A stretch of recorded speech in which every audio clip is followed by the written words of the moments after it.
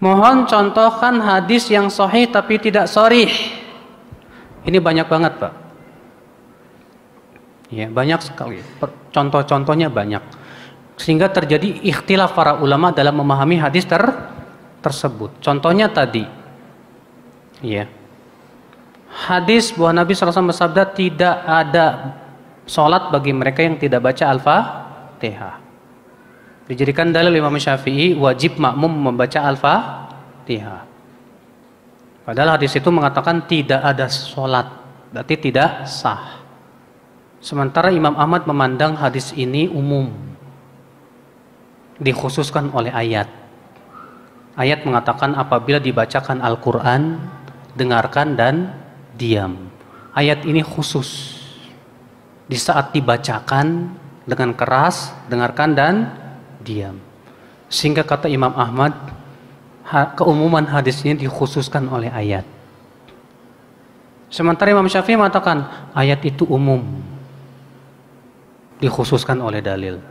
Nah, lo terjadi ikhtilaf dalam memahami dua hadis itu. Berarti ini kan bukan sorry, Pak. Karena ada kemungkinan ini dan kemungkinan itu. Iya. Maka ini masalah ijtihadiyah. Naam. Ini masalah ijtihadiyah karena dalilnya sahih betul tapi tidak sorry. Ya, tidak sorry. Ini ikhwatul Islam azan ya Allah wa yakum. Contoh lagi misalnya ya. Dalam masalah yang berhubungan dengan masalah eh, apa? sedekap. Sami Allah muniman hamidah. Lurus apa? Nah, mereka yang mengatakan sedekap punya dalil. Hadis termasuk sunnah meletakkan tangan kanan di atas tangan kiri di dalam sholat. Kata mereka apa? Rasulullah mengatakan di dalam sholat. Kata para sahabat. Berarti masuk padanya apa?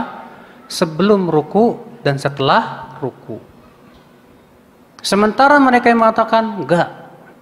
Ketika sami Allahu liman hamidah lurus. Dasarnya hadis. Disebutkan dalam riwayat Muslim itu ketika Rasulullah i'tidal sampai setiap ruas kembali ke tempatnya masing-masing. Maksudnya lurus.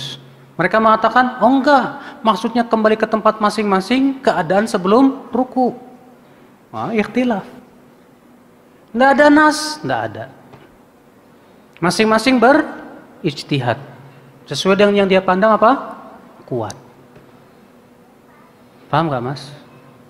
Ini namanya dalilnya soheh tapi tidak sorry. Iya.